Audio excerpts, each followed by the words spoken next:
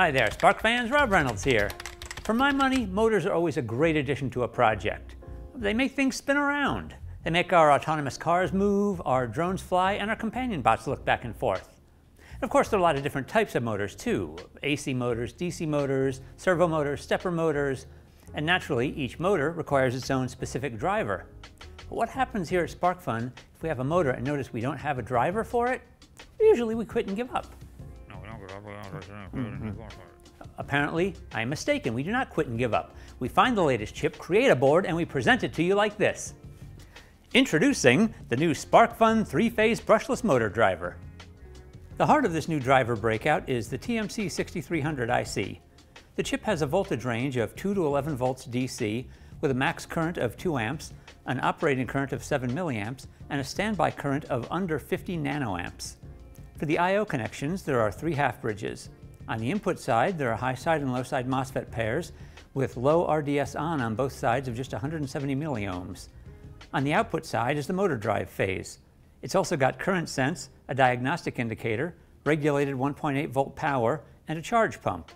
Additionally, it offers thermal shutdown protection at 150 degrees C plus short circuit shutdown. The board itself has 0.1 inch spaced pinouts for input power and ground, charge pump, I.O. logic level, and standby control, plus the three MOSFET pairs with output for current sense, diagnostic, and power out from the three bridges. Our board layout is designed with LEDs and labels facing up and the IC facing down, and we did this for a reason.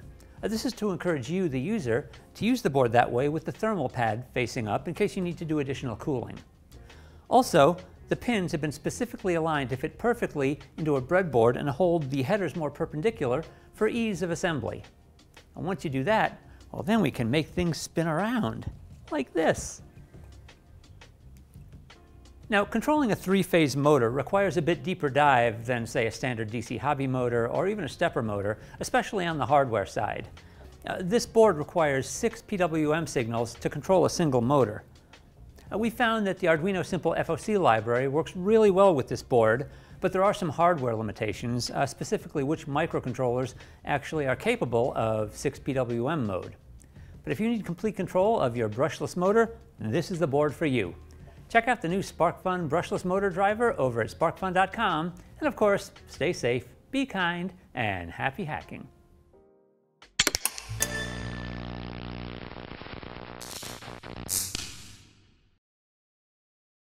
Our board layout has been can't say specifically yet, that's a later word. Specifically aligned to, our board layout has been designed, head, headers more perpendicularly. it has, we didn't just throw things in a pot.